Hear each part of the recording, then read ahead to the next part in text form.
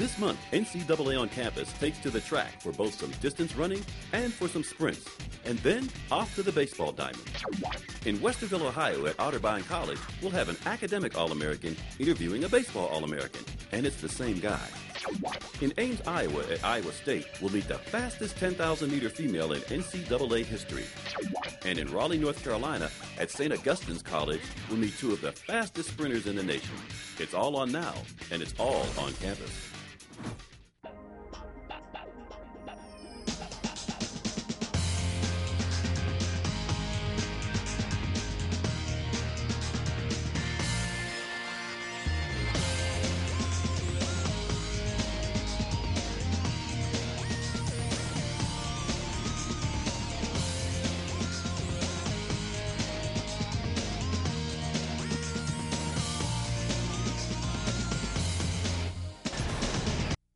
Welcome to Iowa State University in Ames, Iowa. There are 28,000 students here, and the Cyclones are members of the Big 12 Conference. And on this campus in 1942, they built the world's first computer.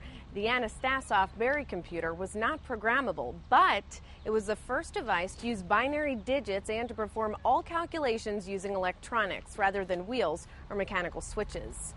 Iowa State has also turned out some legendary wrestlers who've won gold medals, including Dan Gable, who won two NCAA titles, Cael Sanderson, who is undefeated in his four years here at Iowa State, and current ISU head coach Kevin Jackson. Lisa Koll is the newest NCAA champion from Iowa State.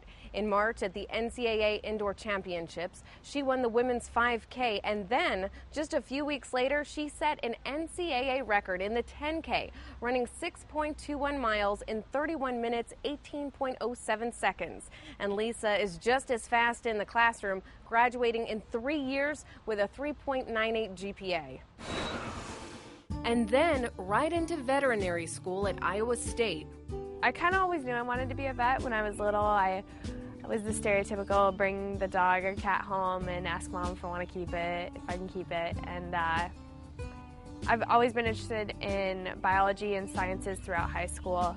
So the medical field kind of really was where I wanted to go. And then the year before I graduated, I was trying to decide do I want to go to medical school? Do I want to go to vet school? And everyone was telling me I, you should go to medical school because you'll make a lot more money and vet school is really hard. But I just followed my heart. It's what I wanted to do. I wanted to be a vet and it's what I was passionate about. And so that's kind of where I followed.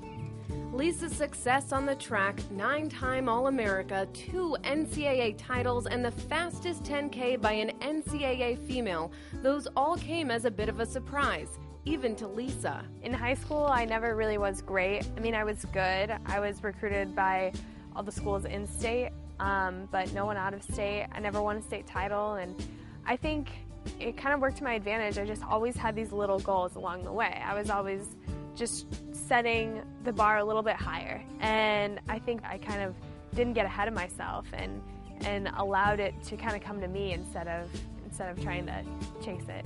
When Lisa talks about her running, she tells you a love story.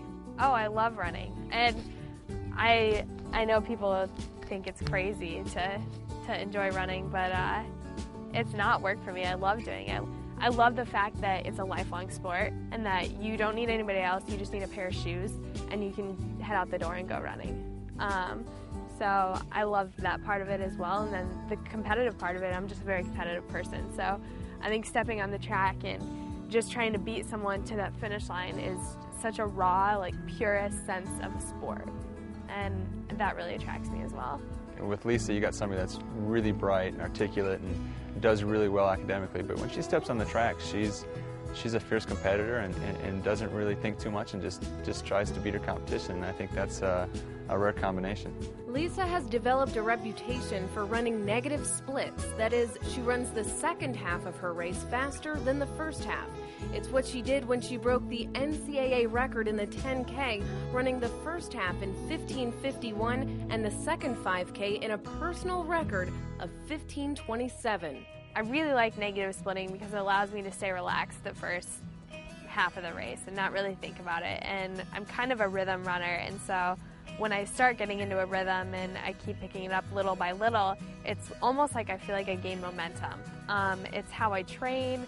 All my workouts, I try to finish them faster than I start them. Going into the 10K at Stanford this year, I didn't really know what to expect. Um, I hadn't run 10,000 meters race in about a year. I was kind of worried I was just going to die. Um, so I stayed really relaxed the first 5K and got through 5,000 meters and I was like, I feel really, really good. And so um, I just kind of gradually picked it up lap by lap by lap. And, and then I think with a mile to go, um, Coach Ihmels yelled at me, if you just keep the same pace, you've, you've got the collegiate record. And I was like, okay, I know I can do that. I know I can maintain what I have. Lisa hopes to keep running into the 2012 Olympics in London and even beyond. She'll get that vet degree, but if the running opportunities are there, she'll follow her heart yeah, I study and run. I just that's my lifestyle. I guess I've just fallen in love with the lifestyle of it. I just run and get up in the morning, run, go to class, come home, take a nap, go run again, study, and go to bed. And I like that. And some people wouldn't like that. They want to go out on the weekends or I don't know, go do stuff. But I love what I do. I love reaping the benefits of it, and it's very rewarding to me. I think through athletics and college, I've just kind of found myself. I found who I am. I found what I enjoy doing. I found the lifestyle I want to live. And I think that's all that's what it's all about in college.